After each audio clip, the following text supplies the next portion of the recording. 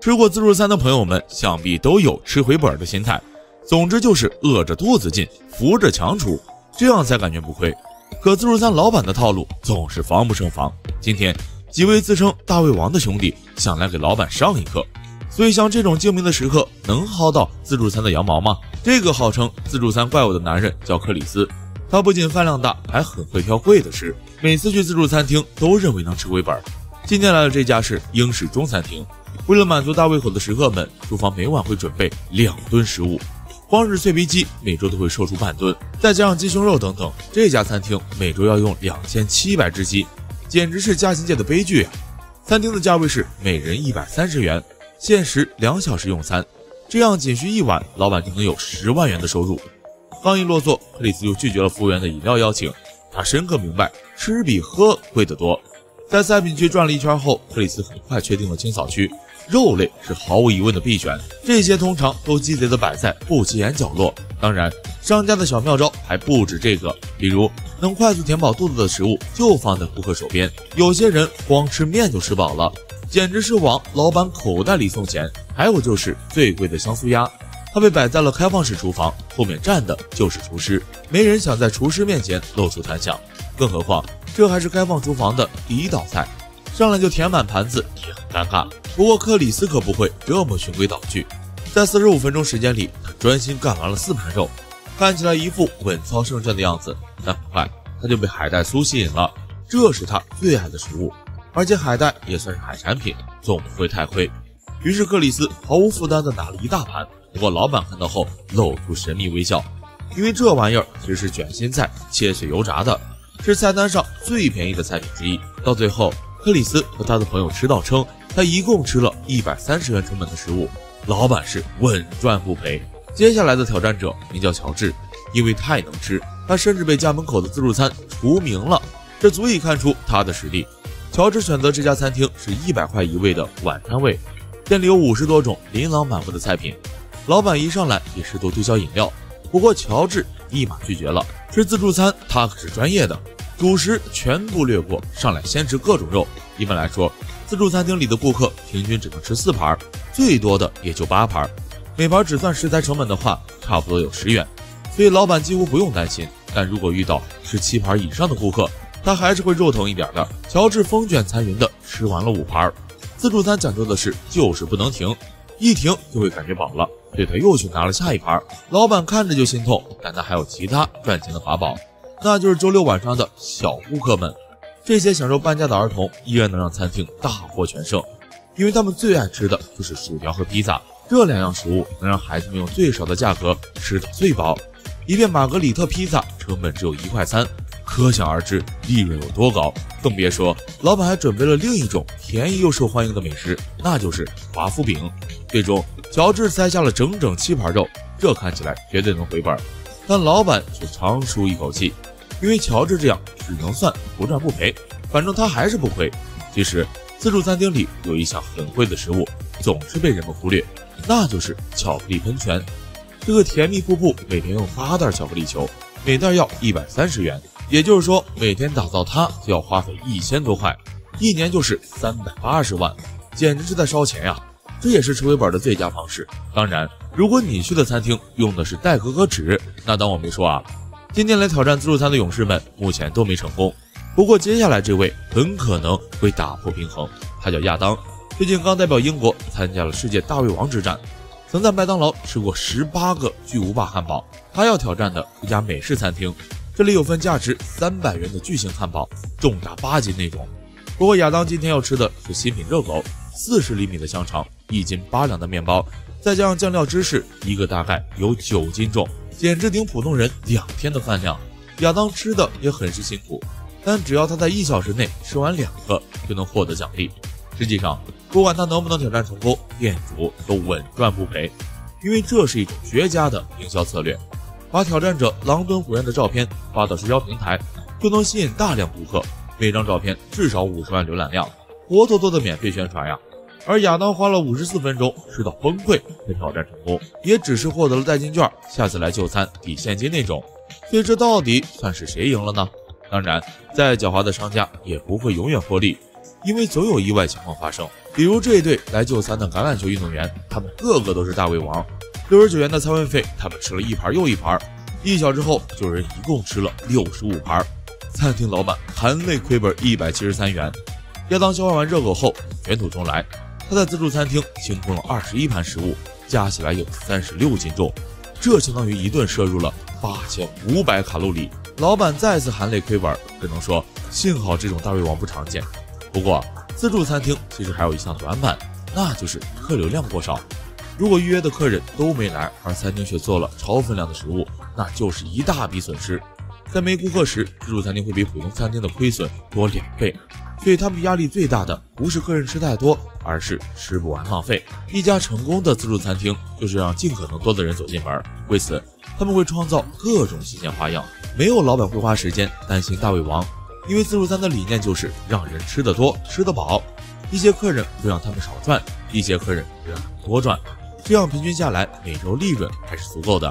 所以再去自助餐厅时，不用纠结怎样吃回本了，因为普通人怎样都吃不回本，想吃什么就拿什么，多尝试各种不同的食物，吃得爽不浪费，这就是自助餐的魅力了。说起韩国饮食，除了泡菜，韩式烤肉大概最为出圈，尤其是烤五花肉，简直跟冰美式一样，刻进了韩国人的 DNA。这点儿从韩剧中烤肉的出场频率就可见一斑。那韩国人对五花肉的热爱到底疯狂到什么程度了呢？二零一六年，韩国的猪肉产量直接超过主食大米，跃居全国第一。如果地图上需要标识各地主食的话，韩国大概是要标牌猪肉的程度。他们自称五花肉的真空吸尘器，本地的高产量都远远满足不了国民需求，要从世界各国大量进口。五花肉要想做的好吃，切肉的厚度很有讲究。一般情况下来说，三毫米和五毫米为最佳，具体情况要根据猪肉种类而定。当烤盘温度加热到八十度左右，马上把五花肉放上去，这时就能听到一阵悦耳的声响。高温把猪肉外皮煎得焦黄，内里的脂肪却深深锁住，一口下去满嘴生香，脂肪都随着咀嚼爆开，这就是五花的奥妙。五花肉是猪身上肚子到排骨的地方。一般在分解的时候，腹部脂肪和内脏脂肪都会被拿掉，所以剩下的并不会很肥，尤其是排骨位置的一小部分，这一块是最好的五花肉，去普通餐厅很少能吃到。为了从一头猪身上获得更多五花肉，韩国人还专门研究了三元杂交猪，它是约克夏猪、长白猪和杜洛克猪的杂交品种，优点是生长快、产崽多，体长很长，所以肚子部分也长。五花肉更多，并且味道清淡，没有太多肉膻味儿。当然，因为个人口味不同，韩国的猪肉品种也很多，比如口感更 Q 弹、肉感更浓烈的本地土猪，还有已经韩国化的八个架猪，它的 pH 值较高，脂肪味道香，吃起来有黄油的味道。韩国人对猪肉的狂热是从1970年代开始的，当时经济情况好转，牛肉价格猛涨，于是人们就发现了猪五花这种便宜好吃的平地。它的供应更稳定，冷冻保存也不影响风味儿。只要把油分都烤掉，然后搭配大蒜、葱丝、泡菜等食用，就会很美味。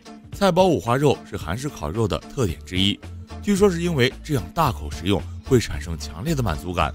里面搭配的小料不同，也能吃出不同的感觉，还能很好的中和五花肉的油腻。烤出的猪油放上面包片微烤，再撒上白糖，吃起来更是大满足。为了追求极致的烤五花。韩国人在烤盘上也下了很多功夫，光是烤盘种类就有不下三千种，不同烤盘烤出的肉味道甚至都不一样。这个撞死锅盖的烤盘有段时间特别流行，开锅后完全不会生锈粘锅，不用电烧烤纸锡纸也能用。还有铁质烤盘、水晶烤盘、升降火炉烤盘，甚至是网球拍烤盘，如此多的种类，足以说明韩国五花肉行业存在巨大的竞争。所以人们不得不发挥才智，创造出更多与众不同的五花肉，比如用红酒腌制、牛奶腌制的，还有直火烤的。有的餐厅会在酱料上下功夫，光是烤肉酱就提供不下十种，简直让人挑花眼。还有熟成五花肉，现在也非常流行。这个厨师为了研究猪肉熟成，每天品尝二十斤肉，三年就胖了八十斤。他想做一种深度熟成菜单。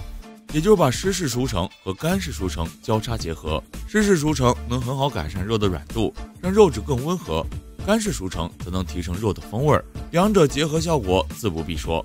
熟成过后的五花有点蓝纹奶酪的味道，但烤过之后就没了，脂肪还很有弹性，味道就像吃切片芝士一样，香味会在嘴里久久不散。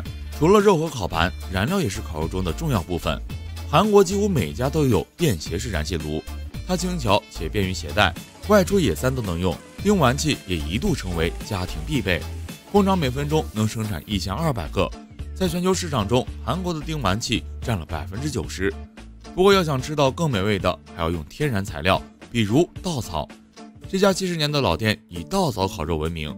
稻草是当地特有的种植物，它的燃烧温度可以超过一千度。等白烟冒过，大火升起时，把夹着五花肉的烤盘架在其中，只需四五十秒，肉片就会熟透变色。此时再沥出一些油脂，翻面微微过火。肉片就能享用了，油脂融化的味道、炭火的味道，还有稻草的清甜，这些混合在一起，形成了独特的口感。青上南道的栗木炭也是一种很好的燃烧材料，它来源于栓皮栗，这种树木树皮很厚，能做出上等木炭。一个窑窖可以装十二吨左右木柴，烧制时间会持续整整一周。这期间温度、氧气含量都要严格控制。和燃气火不同，木炭烧出来的火不会因低油而火势变大，所以不容易把肉烤焦。木炭加简单的一块大石头就是上好的烹饪道具，石头还能把油分吸收，形成最完美的五花。木炭本身的香味也会渗入肉中，不加任何酱料，只用粗盐也能很美味。还有一种叫麻窑烧的烹饪方式，和烧炭有些类似，它是在地里挖个大坑，然后立起石头，留个让水蒸气传过去的通道。再用十吨左右的木头盖住，倒满石头，就像是天然的蒸炉。烧个四天左右后，村民们会把猪肉、土豆、红薯等食物都埋进去，再用松叶或艾叶盖上，增加香气。最后埋上土，不让热气跑出，然后往小孔里浇水，利用水蒸气蒸熟食物，做出熏制的效果。六小时后，猪肉就新鲜出土了，里面的土豆和红薯吸收了大量油脂，变得软糯香甜。猪肉则鲜嫩多汁，一点多余油分也没有。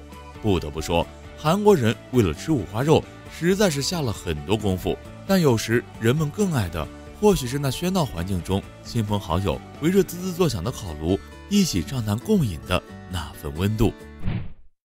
重达一公斤的便当，堪比铅球的饭团，你见过吗？这是东京街头的一公斤便当店，店里所有产品都要严格按照一公斤来制作。不能有丝毫的缺斤短两，色泽诱人的烤鳗鱼，金黄酥脆的炸鸡，比脸还大的牛排，把餐盒撑得满满当当，堪称性价比之王。虽说店面不大，但靠着扎实的分量和直逼成本的价格，深受上班族和学生党的喜爱，每天都能卖出三千份以上。店铺的定价非常亲民，根据菜色不同，大多在三百到一千五百日元之间。而便当的选择更是多达三十种，因为要处理的食材太多，员工们每天一大早就干劲十足的开始准备料理。首先要制作的是茄汁炒饭，锅里融化黄油，依次加入食材一起煸炒。当培根、洋葱、三色蔬菜丁在番茄汁里熬煮入味，就可以放米饭了。店员小哥不停翻炒，让食材融合均匀，直到每一粒米都染上茄汁的红色。这一锅就有五十人份。做完炒饭，店员小哥又马不停蹄地开始煎鸡蛋，两个鸡蛋摊成一张张又香又薄的蛋饼，再用它包裹住一公斤的茄汁饭，售价五百日元的茄汁蛋包饭团就做好了。同样的茄汁饭还可以用来做便当，饭盒里先铺一层一人份的米饭，再盖上六个鸡蛋煎出的蛋饼，加上一小撮萝卜干，一小把面条打底，就可以尽情加肉了。金黄诱人的汉堡肉饼、炸鱼排、鸡块，不要钱似的往饭盒里加。主打一个野性销售，盖子扣不上不要紧，用皮筋儿一样能固定。售价仅需七百日元的肉多多便当，老板用物超所值的诚意为辛苦一天的打工人提供满满的能量支持。另一边的电子秤上，店员正在制作本店的招牌产品之一——巨型炸弹饭团。海苔上铺一斤白米饭，放入两种小菜、鱼酥和炸鱼块，再用另外一斤米饭封顶，裹好海苔。六百五十日元的炸弹饭团就可以上架销售了。各种炸物也是店里不可缺少的销量王者。腌制好的鸡块下锅油炸，每天至少要卖出三十六公斤。店员从早炸到晚才能跟得上供应。炸鱼排和炸猪排外酥里嫩，可乐饼、芝士球、炸春卷色泽诱人。这些品种繁多的炸物和照烧酱汁是绝配，不仅可以用来制作便当，也作为小食单独售卖，每份五百五十到六百日元，深受顾客欢迎。曾经就有一位顾客专程来感谢店长，他说在家里做炸物工序复杂，费时费油，这家店的存在为他省去了不少麻烦，哪怕不想吃油炸食品，也还有不少其他的选择。超大号牛排、牛舌占据了半个饭盒，香肠煎得滋滋冒油，肠衣都爆开了。裹满酱汁的肥厚鳗鱼肉搭配天妇罗大虾，光是卖相就让人垂涎三尺。再淋上一遍酱汁儿，点缀上腌萝卜丝儿，盖上盖子，贴好标签，鳗鱼海鲜便当摆上了货架。由于实在昂贵，它的价格也处于店里的第一梯队，一千五百日元。肥瘦相间的五花肉需要提前一晚上开始腌制，小火慢炖好几个小时，早已软烂入味，切成一指宽的小片儿，放入盘中。店员又倒入料汁，让它更加香醇。这样做出的五花肉，不管是放进便当，还是用来做饭团，都能满口生香。肥牛炒洋葱，辣椒炒猪肉，做的多汁下饭。店员往饭盒里摆入面条、一小撮咸菜和超大分量的米饭，然后往面条上放满洋葱、肥牛，让酱汁挂满面条，再摆入两块可乐饼和一片厚切火腿或是四块炸鸡。最后淋上浓稠拉丝的糖醋酱汁，一份售价八百八十五日元，性价比拉满。炸猪排浸满汤汁，淋入金黄的蛋液和大量葱花，小火咕嘟出最大的香味儿。肉末茄子是开发的新菜品，猪肉碎炒至变色，加入酱料增香，再放入洋葱和过了油的茄子，带着锅气的菜肴，让米饭也沾上浓郁的酱汁，又是另一种风味。这些便当根据菜色不同，价格各有变化。但不变的是，在店里一角始终供应着两百日元一份的穷鬼便当，一份肉菜，一小撮配菜，再加上足量的米饭和酱汁。虽说看起来没有店里其他便当丰盛，但也足够让一个成年男人吃得饱饱的。店里做慈善一样的定价，总是让人怀疑老板会不会亏本。但是几年过去，老板不仅赚到钱买了高层公寓，还开了两家分店，生意都非常火爆。而老板赚钱的秘诀，一是薄利多销。这家店铺二十四小时全天候营业，员工们都是两班倒，中午十一点半左右，午餐刚刚全部完成，下午两点就又要开始准备新一轮的晚餐了。一些上夜班的出租车司机和大货司机，忙碌了一整晚后，都喜欢来这里带上一份便当，用实打实的热量慰藉空荡荡的胃袋。而另一种原因是店里开通了二十四小时直播，原本是为了让顾客能远程确认店里的便当品种，不白跑一趟。但二零一八年开通直播之后，却有许多意外之喜。首先是很多原本不知道这家店的人，观看直播后燃起了购买的兴趣，营业额上涨了百分之五。店里的那些特色商品在社交平台上引起了广泛讨论，店铺名气也因此更上一层楼。而且装上摄像头之后，那些爱刁难人的客人和深夜小偷明显减少了很多。因为店铺是二十四小时营业，半夜也不关门，店员又一直在后厨忙碌。以前几乎每天都会被偷上个一千日元左右，但现在几个月也不一定来一次了。如此干净美味、价格又实惠的便当店，你想光顾吗？没有吃过台湾便当就不算到过台湾。在台湾，便当是所有人的味觉记忆，就连马英九最常吃的食物也是便当，还曾经创下过一年狂吃七百份的记录。台式便当的雏形就是铁路便当，在那个公路交通不发达的年代。火车是长途交通最方便快捷的工具，在长时间的旅途中，便当成为了填饱肚子最简单的方式。而火车上不同的站点也拥有着各自的特色便当，其中最有名的当属是台铁、福隆、池上、奋起湖四大铁路便当。每到饭点，台北车站的台铁便当铺外就开始大排长龙，很多人就算不搭乘火车也想买来吃。而台铁便当之所以如此受人追捧，原因也很简单，就是经济实惠、美味可口。经典款只需要六十新台币，最贵的也不过一百五十新台币。台铁便当有着七十四年的悠久历史，早期都是用铁盒包装，上层放肉和菜，下层是用虾米、油葱酥煸炒过的米饭。顾客吃完了，由服务员回收清洗，但因为回收率不佳，成本过高，如今改用纸盒和塑料盒。为了满足一些顾客们的怀旧愿望，台铁现在也能够买到传统的铁盒便当。由于比较费工费时，每天只限量几百个。据说在四十年前，台铁便当还处于亏损状态，后来大刀阔斧地改变了口味，推出美味的排骨便当，才扭亏为盈。曾经创造出五个多亿的销售奇迹。由于销售过于火爆，导致供不应求，台铁在各处筹建了六个料理厨房，日产量将近三万份。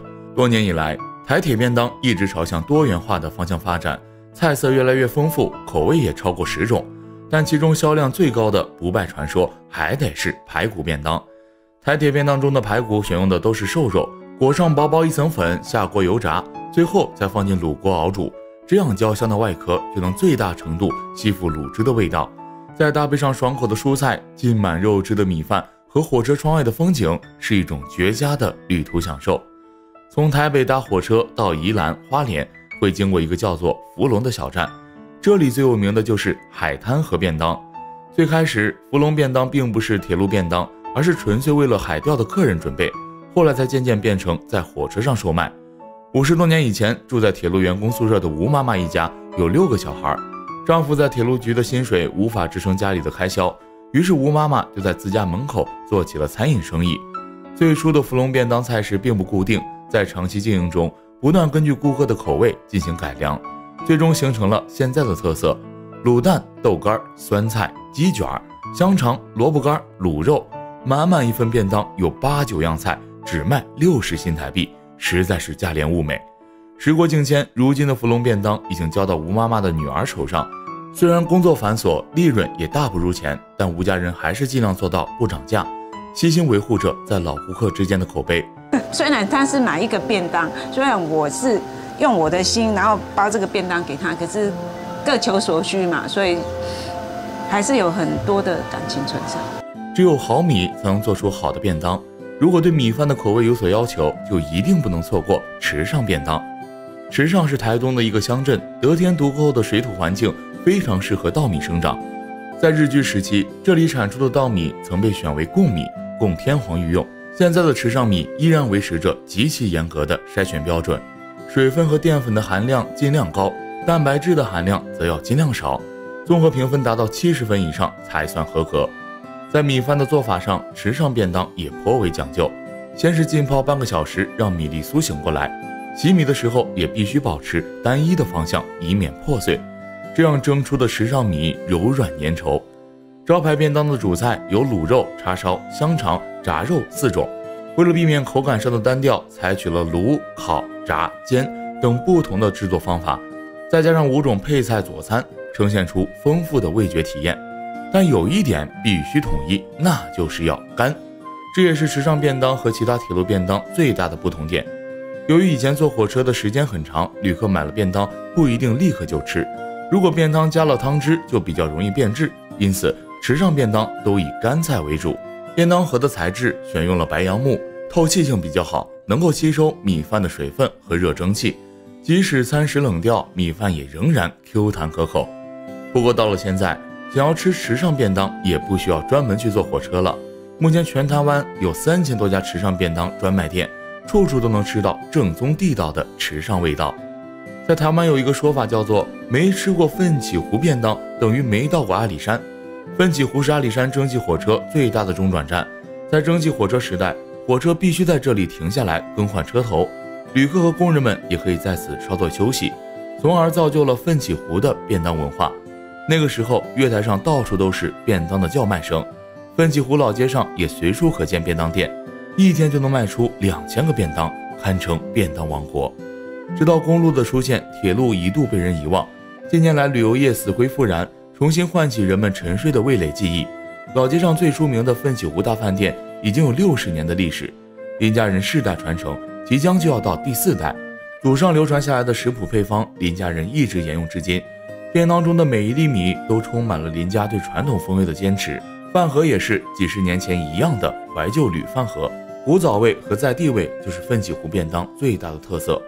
鲜香入味的红糟排骨和口味鸡腿是奋起湖便当经年不变的两大主菜，配菜则是就地取材，应季而变，当地用豆渣做肥料，不打任何农药，培育出质量优良的阿里山高山有机蔬菜。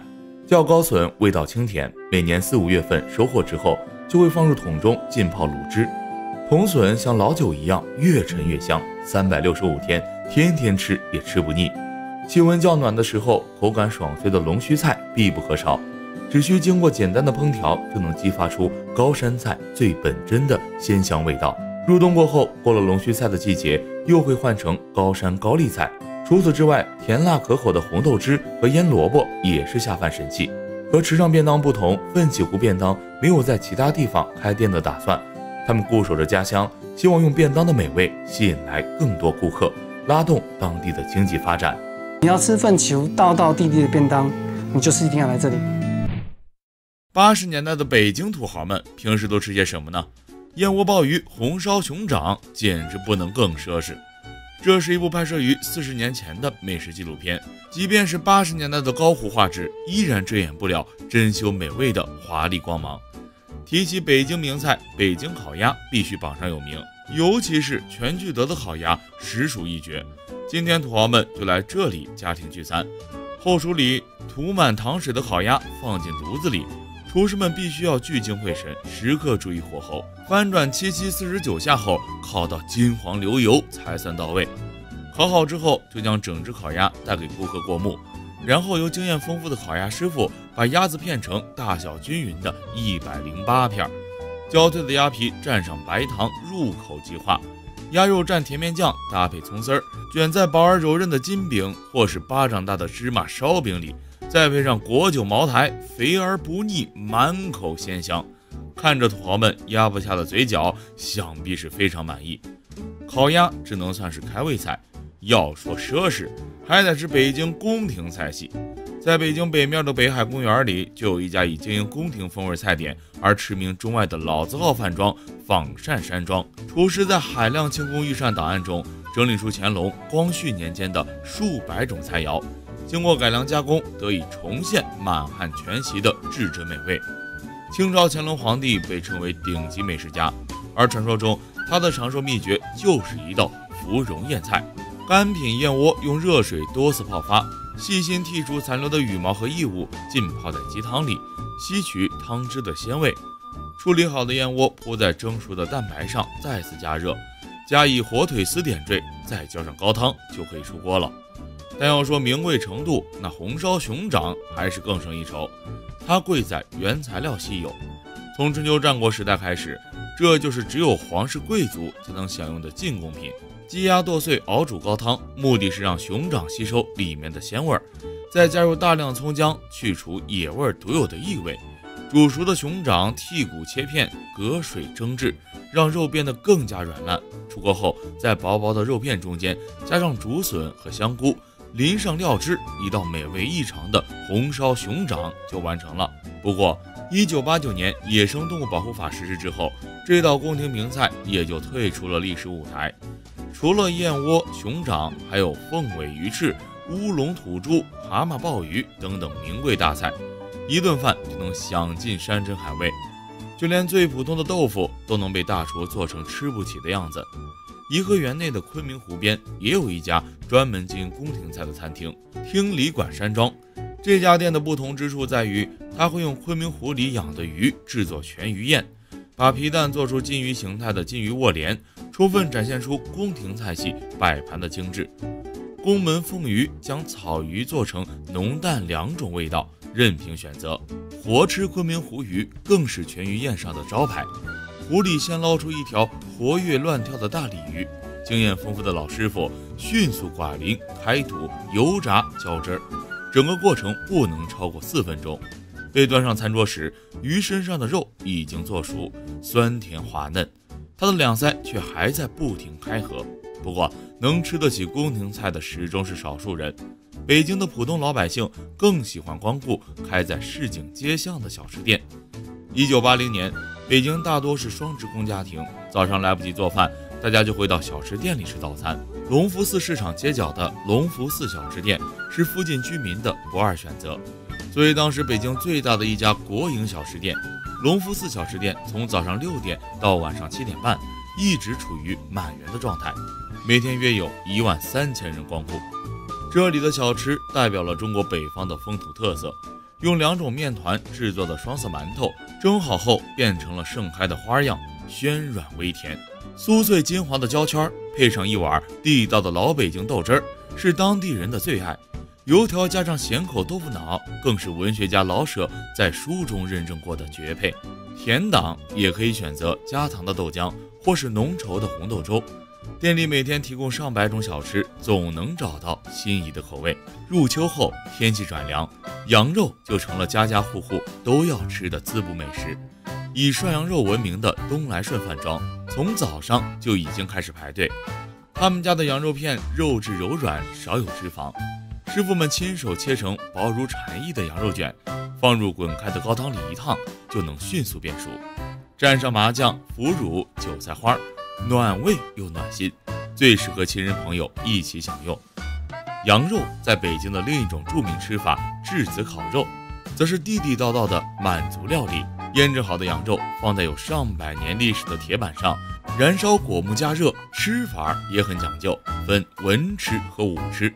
文吃是指由店里的厨师烤好，装盘端上桌直接吃；武吃就有意思了，一家人围在桌前自己动手，根据个人喜好掌握火候。虽然没有大厨手法纯熟，但也别有一番趣味。说完了北方菜系的集大成者京菜，再来看看南方菜系。都说。食在广州，一九八零年的广州也有着不同于今日的精彩。那时候，广州的自由市场还是提着菜篮子购物的时代，各种各样的新鲜果蔬、肉类、干货在这里都能找到。除了鸡鸭鱼肉、虾蟹海产，还能见到穿成串的青蛙。如今的二级保护动物娃娃鱼，甚至是猫头鹰、果子狸、猴子，也都作为食材出售，堪比半个动物园。和今天一样。八十年代的广州人也钟爱吃早茶，荔湾湖边的泮溪酒家，从庭院到包房，座无虚席，大家悠闲地品尝着各式点心茶水。在上百种点心里，奶油百片糕最受欢迎，每天一出炉，马上就被哄抢一空。这种点心制作复杂，首先蒸出一批蛋糕，蛋糕切成小块后，和椰蓉、懒人混合在一起做馅料。加在薄薄的面饼里上锅蒸熟，再撒上咸蛋黄和肉松，这就是泮溪酒家独有的奶油百天糕。除此之外，还有如梅花盛开的莲子馅点心、嫣红梅花饼、鹌鹑蛋黄烤制出的酥皮点心、鹌鹑千层酥，制作成小白兔模样的虾饺、绿茵白兔饺，以虾仁和香菜做馅料的点心，鹅姐粉果，好看更好吃。随着时代变迁，因为工艺和口味等种种原因，那时的很多菜肴都已经不复存在，只能看着当时的影片过一过眼瘾了。我是拉环，关注人家易拉罐，带你看更多不一样的人生百态。